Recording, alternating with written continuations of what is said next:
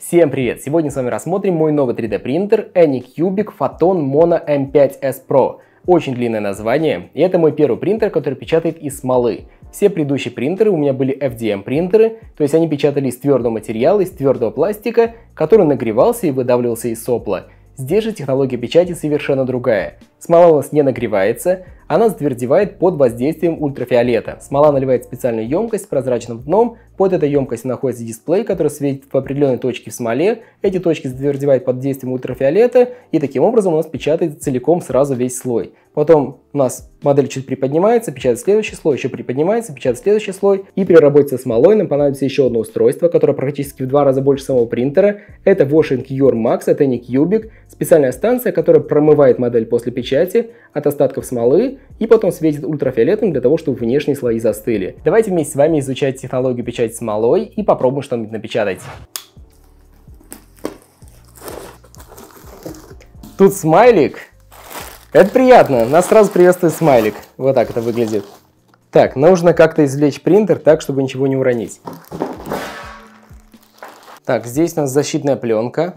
Я уже знаю, для чего она нужна. Дело в том, что у нас на модель будет светить специальный дисплей ультрафиолетом, и, вероятно, эта пленка нужна для того, чтобы защитить. Я, в принципе, понимаю, как работает такой принтер, но сам с ним никогда не сталкивался. Поэтому, если буду называть какие-то детали неправильно, можете проверить меня в комментариях, я обязательно это прочитаю.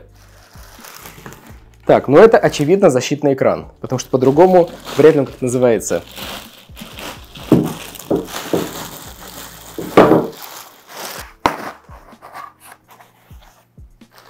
Так, у нас здесь еще что-то содержится. Это, скорее всего, печатная поверхность. Здесь у нас модели будет печататься вверх ногами, таким образом. Сразу вынимаем. Дальше, блок питания. Коробка здесь, наверное, аксессуары различные. Да, здесь аксессуары, блок питания. А для чего нам два их, я не знаю, честно говоря. Сейчас будем разбираться. Кабель питания. Вероятно, у этого принтера будет два блока питания. То есть у нас будет два различных узла, которые нужно включать по раздельности. Anycubic Air. Вероятно, это нужно для очистки воздуха, потому что мы будем работать с смолой, а у смолы есть испарение, и, скорее всего, это устройство фильтрует воздух. А, скорее всего, вот для этого используется отдельный блок питания. Здесь на самом деле есть аккумулятор. Давайте сразу снимем пленку с него. Это же аккумулятор? А, это... Какой аккумулятор? Это фильтр.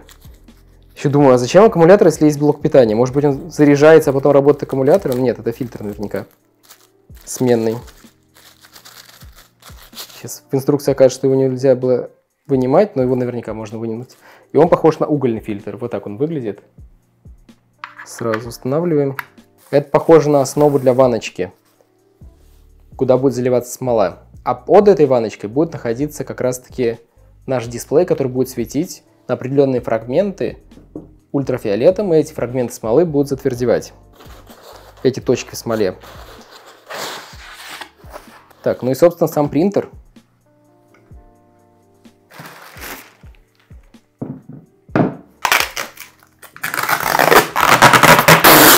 По идее, данный принтер идет уже сразу собранный, потому что все, что вам необходимо сделать, это установить платформу для печати, установить ванночку, наклеить пленку защитную, ну а сам принтер уже, по сути дела, собран. То есть все, что вам необходимо поставить, те детали, которые вы, в принципе, будете постоянно снимать время печати. Давайте посмотрим, что находится в коробочке. Во-первых, провод питания. Вот блок питания. Пластиковый шпатель, но при этом есть еще и металлический шпатель. Это что такое? Это ножки, скорее всего. А, нет, не ножки, а что это тут такое? Я, честно говоря, не знаю, зачем это нужно. Возможно, для того, чтобы для того, чтобы крепить вот эту платформу. Все понятно.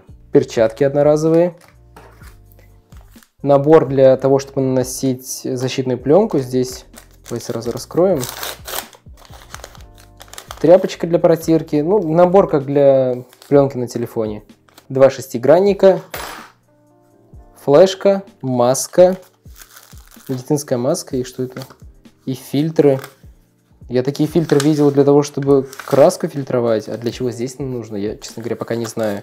Возможно, остатки смолы нужно будет фильтровать для того, чтобы повторно ее использовать. Не знаю, честно говоря, для чего это нужно, это будем сейчас еще разбираться с вами. Металлический шпатель, при этом у нас есть еще и пластиковый шпатель, вот такой. еще один огромный шестигранник, талон контроля качества, отдельная инструкция к фильтру воздуха. Так, на китайском, а, и на английском. Здесь надписи и на китайском, и на английском. Как подключать этот фильтр, в принципе, к принтеру. Да, скорее всего.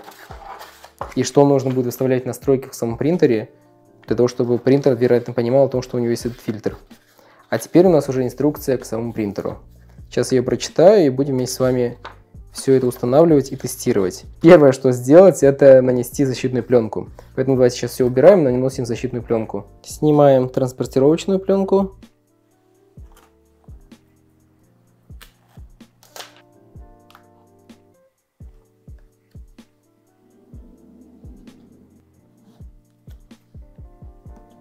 Я потратил очень много времени на нанесение защитной пленки, но я убрал абсолютно все ворсинки, абсолютно все пузырьки, поэтому оно мне приклеено практически идеально. По периметру остались пузырьки, потому что это уже неровная поверхность, и там неизбежно они останутся. Теперь мы с вами устанавливаем печатную поверхность. Ослабляем винт, устанавливаем и затягиваем. Устанавливаем емкость для смолы и затягиваем ее. Согласно инструкции, нам необходимо зайти в настройки, Exposure, и вот это запустить на 10 секунд. Я не знаю, для чего это нужно, если знаете, напишите в комментариях, но там был такой пункт. Вообще, этот пункт был до того, как мы установим ванночку. Я думаю, разницы нет никакой, поэтому запускаем ее. У нас включилась подсветка, точнее, включился, в принципе, принтер. И это должно длиться 10 секунд. Все, готово. То есть у нас принтер работает, все окей. Вероятно, это тестирование принтера, то, что он действительно работает. Так, теперь мы можем вставить USB, но для начала необходимо будет, конечно, налить смолу. И также нам теперь нужно будет установить очиститель воздуха. Здесь есть специально отмеченное белым место для установки AirMate. Мы, вероятно, двусторонний скотч его приклеиваем, и он будет здесь держаться. Окей. Приклеиваем вот в это место. Что он умеет делать? Мы можем установить температуру, и он будет нагревать воздух внутри этой камеры до необходимой температуры.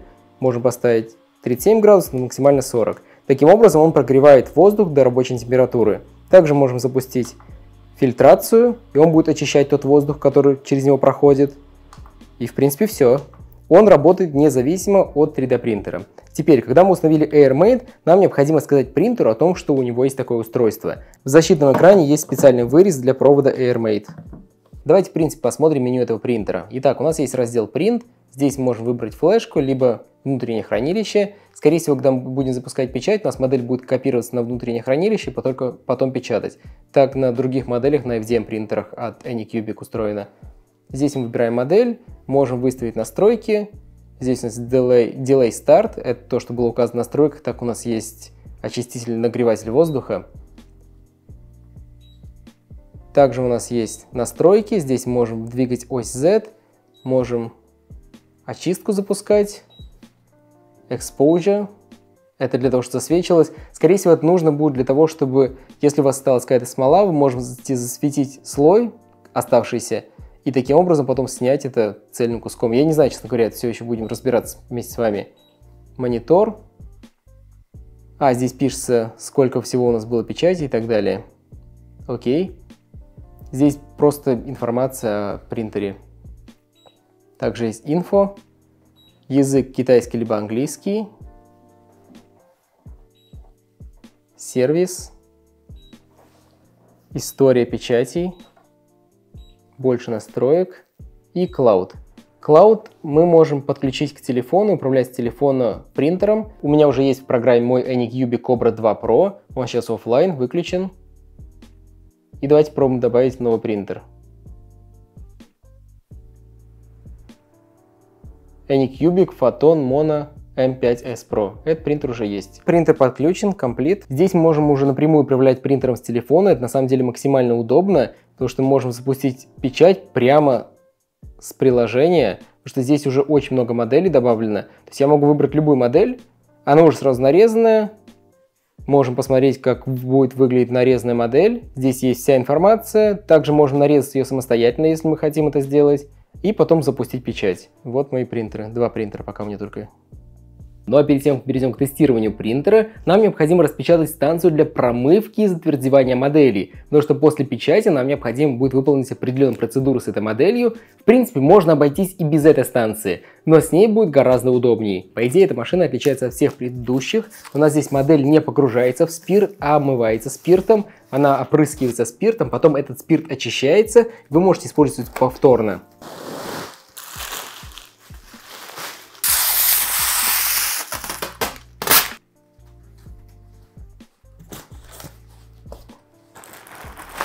Здесь у нас находится блок питания, кабель питания, шестигранники, шпатель и какой-то сетчатый фильтр. Инструкция. Огромные емкости. По идее, они 5-литровые. Да, 5-литровая емкость первая и 5-литровая емкость вторая.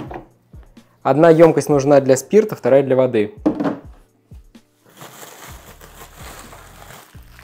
Складное ведро, шланги и корзинка, в которой все это будет мыться. Сама машина уже мокрая, то есть ее, вероятно, на производстве тестируют.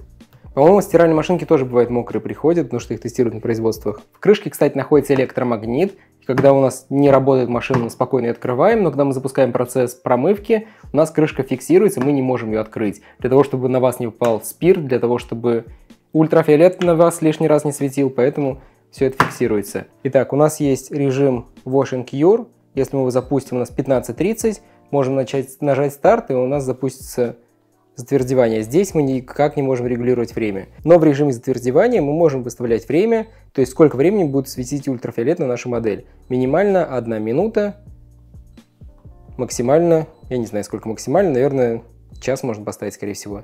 Но при этом у нас нет режима просто промывки. У нас есть только режим промывки и затвердевания. То есть мы просто так помыть модель не можем. Она обязательно будет потом затвердевать. Кнопка старт и отмена. У нас есть корзинка, в которой мы будем помещать модели. Давайте сразу и поместим внутрь, потому что не потерять. На этой корзинке модели будут вращаться, как в микроволновке. Также необычное, здесь у нас есть ведро в наборе. Оно нужно для того, чтобы сюда мы сливали отработанную воду. Модель изначально будет обливаться спиртом, у нас есть специальный контейнер для спирта, вот этот. После этого модель будет обливаться водой, после этого модель будет затвердевать, и потом снова обливаться водой. И вот вода, она уже не очищается, она будет сливаться вот в это ведро. После того, как она сольется, мы ее просто выливаем. У нас все шланги подписаны. Это шланг номер 4. Он, скорее всего, кстати, для отработанной воды. Шланг номер 1, 2 и 3. Эти шланги будут вставляться вот в эти отверстия. Здесь у нас все подписано. 1, 2, 3, 4. И также у нас есть цифры вот на этих контейнерах. На этих емкостях. 1, 3, 2, а 4, соответственно, вот сюда ведро, как я предполагал. Давайте попробуем что-нибудь напечатать. На флешке уже есть тестовые модели, теперь необходимо налить смолу. Я буду использовать смолу, это не кьюбик, это серая смола для высокоскоростной печати. У нас есть отметка Max, до которой максимально можно наливать смолу. Единственное, что я не знаю, сколько смолы нужно наливать. Но пока запах смолы я не чувствую, я только распаковал, пока какого-то едкого запаха нет. А, маску, необходимо надеть маску. Я думаю, столько хватит. То есть это где-то половина нашей емкости. Нам необходимо выбрать для того, чтобы у нас прогрелся. В инструкции говорилось, что долго будет прогреваться. У нас 5 минут, потому что у меня, в принципе, в комнате очень тепло. Сейчас 29 градусов у меня в комнате. Поэтому давайте просто принт.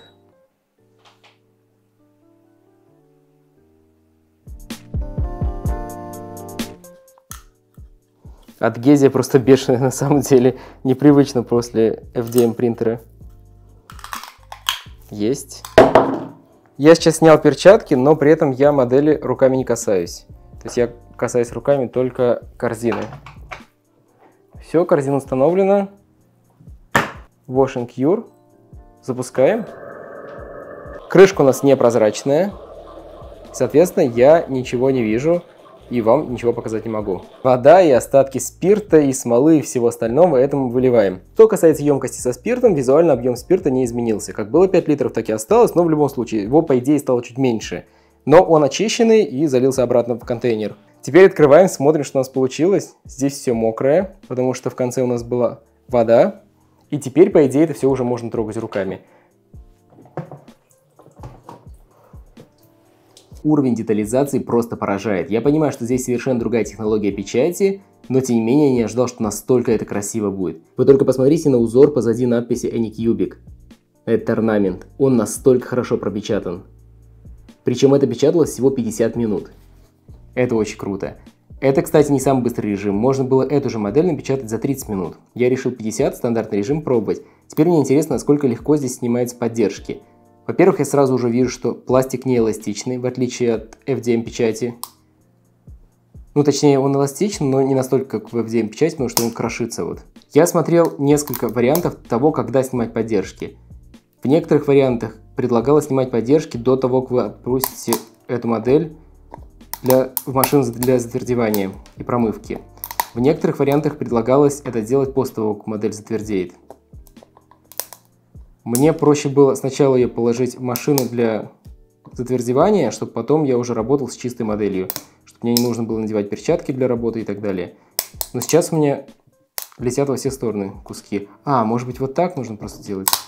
Нет, крошится. Ну ладно, сейчас снимем, посмотрим, что у нас получилось. Итак, вот модель уже без поддержек. Мне, к сожалению, не получилось снять их аккуратно, остались очень красивые следы. И я уверен, что этот вопрос можно решить. Но в целом качество печати просто невероятное. Только посмотрите, какие окошки. Это сквозные окошки. Мне очень нравится качество печати. Единственная проблема это поддержки. Все остальное меня полностью устраивает. Скорость печати, детализация. Давайте попробуем напечатать какую-нибудь модель, которая сейчас уже заранее загружена в телефоне. Возможно, там будет более аккуратной поддержки. Модель загружается, не выключайте принтер. Мы запустили печать прямо с телефона.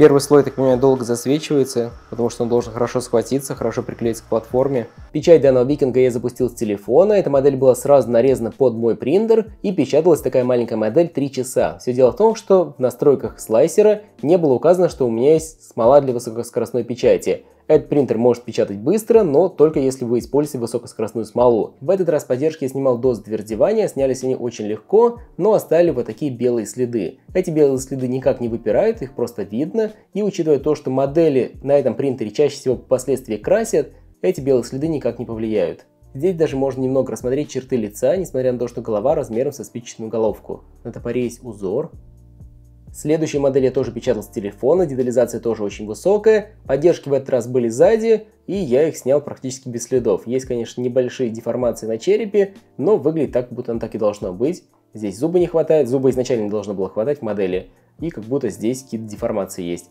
В принципе, мне нравится, как получилось. А, кстати, поддержка одна осталась внутри но не страшно, ее можно будет убрать. И по идее этот череп можно будет использовать потом с какой-нибудь фигуркой, насадить в качестве головы. Все последующие модели я уже подготавливал не на телефоне, а на компьютере. Вот такие персонажи для настольной игры. Просто чтобы вы понимали масштаб этих фигурок. Вот телефон, вот фигурка, она очень маленькая, но при этом детализация просто невероятная. Далее решил напечатать уже что-нибудь побольше, это Геральт из Ривии. Данная модель составная. И, кстати, эту модель я печатал вместе вот с этими деталями. То есть все это было напечатано за один раз, за полтора часа. Убираем эти детали и будем склеивать Геральта. Просто представьте, вот это печаталось полтора часа. На обычном FDM принтере такой будет печататься часов 5, может быть 8. Здесь тоже довольно высокая детализация, есть небольшие следы поддержек, и в этот раз я уже использовал один интересный лайфхак. Поддержки можно снимать в горячей воде, точнее в теплой воде. Вы помещаете модель в теплую воду, и там легче снимать поддержки. Это вроде бы действительно работает. Кстати, вот здесь я оставил поддержку в руке. Ее нужно устранить. Это же поддержка? Да, это поддержка.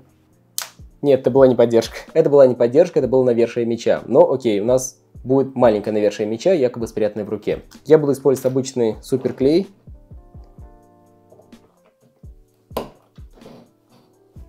Да, по идее, Геральт должен был держать за меч, и все бы это смотрелось очень красиво.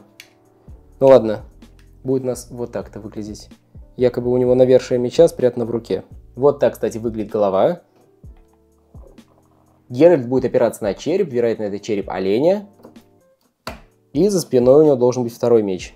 Готово, фигурка полностью склеена, и все это было напечатано за полтора часа. Это очень высокая скорость. На некоторых деталях есть небольшой белый налет, он появился после застывания. В любом случае, я планирую фигурку покрасить, и, в принципе, этого не будет видно, но, тем не менее, такой эффект есть. Мне фигурка нравится. Хоть она совершенно недобрая, но все-таки книга, игра и сериал тоже недобрые.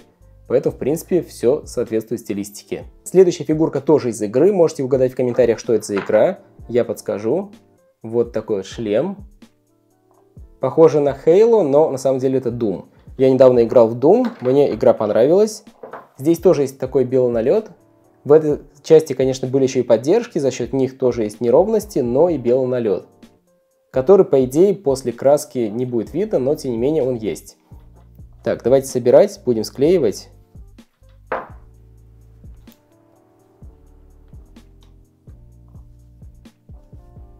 И Guy готов. Здесь тоже есть небольшие дефекты. Во-первых, белый налет в груди, вот здесь. Во-вторых, есть следы поддержек. Их тоже можно устранить, в принципе, если аккуратно все снимать, но тем не менее эти следы есть. Пишите в комментариях, какая игра вам нравится больше, Ведьмак либо Doom.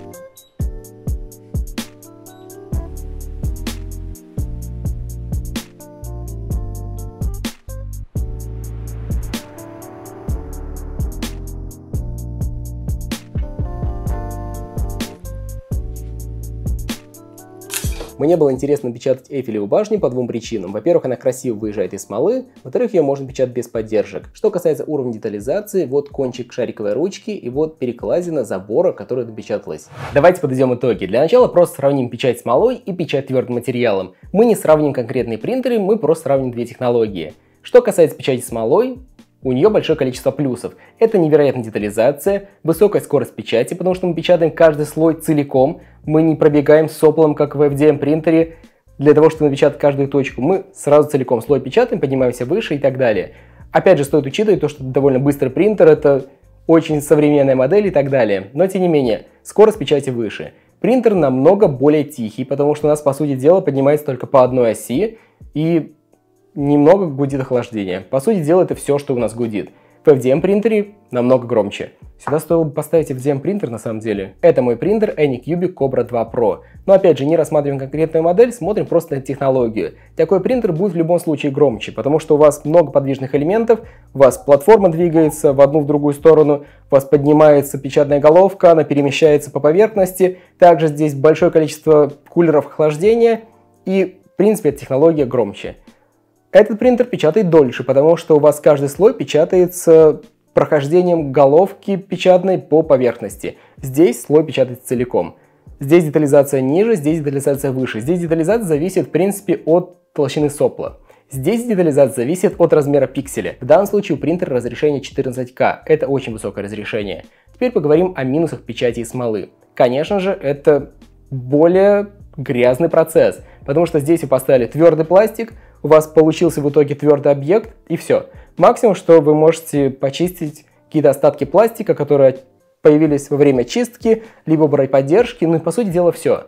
Вы все это делаете голыми руками, вам не нужны ни перчатки, ни респираторы, вам не нужно переливать спирт, вам не нужно переливать смолу и так далее. Если вы хотите поменять филамент, вы просто снимаете один, ставите другой цвет, либо просто ставите другую катушку такого же цвета, и все, на этом все заканчивается. Здесь же, если вы хотите заменить смолу, например, залить другой цвет, либо смолу с другими свойствами, с другим составом, и у вас только одна ванночка, вам необходимо будет из этой ванночки вылить смолу, помыть ванночку, залить новую смолу. Следующий пункт это постпечатная обработка. Здесь максимум, что вам необходимо сделать, это устранить поддержки. Здесь вам необходимо будет устранить поддержки, после этого промыть модель, после этого посветить ультрафиолетом, и только тогда модель будет готова. Но благодаря тому, что у нас есть специальная станция, этот процесс упрощается. Вы устраните поддержки, ставите все это в специальную станцию, и за вас все это делается. Единственное, что вам необходимо будет каждый раз заливать воду новую, старую воду сливать и так далее. Мне кажется, мы максимально сравнили две технологии. Теперь убираем этот принтер и говорим конкретно о модели Anycubic Photon Mono M5S Pro. У меня так получилось, что мой первый принтер, печатающий смолой, это сразу топовая модель. Потому что этот принтер имеет автоуровень, у него разрешение 14К, также у него есть автоматическое определение смолы. У меня был один случай, когда я печатал модель Ведьмака, и платформа погрузилась, поднялась и сказала, что у вас недостаточно смолы, налейте еще. Потому что не все принтеры это умеют делать, и в какой-то момент у вас может закончиться смола, и просто-напросто модель не допечатается. Здесь заранее перед печатью принтер говорит об этом. Также здесь есть фильтр воздуха, и также это устройство подогревает. Также у этого принтера очень высокая скорость печати, но только в том случае, если вы используете смолу для высокоскоростной печати. Если в настройках слайсера вы не указываете такую смолу, то модель будет печататься часа 3. Если вы указываете такую смолу, модель будет печататься около часа. Данный принтер подключается к Wi-Fi, печать можно запустить прямо с телефона, можно выбрать любую модель из тех, которые представлены в каталоге, там огромное количество, они сами подгружаются с различных сервисов, из Thingiverse, по-моему, были модели из My Mini Factory, точно были модели. таким образом вы можете выбрать любую модель, нарезать ее прямо в слайсере, встроенном слайсере, онлайн-слайсере, правильно так сказать, и после этого запустить печать. Но мне все равно удобнее это делать с ноутбука, я нарезаю как мне нужно, выставляю все параметры, потом вставляю флешку и печатаю. Но тем не менее на телефоне показываются процессы печати, на телефоне показываются ошибки, если возникают. Что касается машины для промывки и затвердевания модели, я уже не буду ее поднимать, она очень большая, займет здесь пол стола. На мой взгляд, это хороший вариант для серийного производства, либо для тех, кто печатает очень большие модели регулярно. В моем случае это не так, для меня она просто-напросто очень большая. У Anycubic существует подобное устройство, не настолько автоматизирован, там меньше процессов, но они размером приблизительно как вот этот принтер. На мой взгляд, мне бы такое устройство больше подошло. Плюс Washing Cure Max заключается в том, что он выполняет все процессы за вас. То есть вы просто заливаете новую воду каждый раз, старую сливаете после мойки, и у вас сначала моется спиртом, потом моется водой, потом модель затвердевает, и потом снова смывается водой. И, соответственно, вы вынимаете уже готовую модель. В описании оставлю ссылку на Anycubic Photon Mono M5S Pro и Washing Your Max. И надеюсь, вам понравилось сегодняшнее видео. Если так, не забудьте подписаться на мой лайк-канал. Ссылка на него тоже будет в описании, как и ссылки на все остальные социальные сети. И на этом все. Спасибо за просмотр. Всем пока!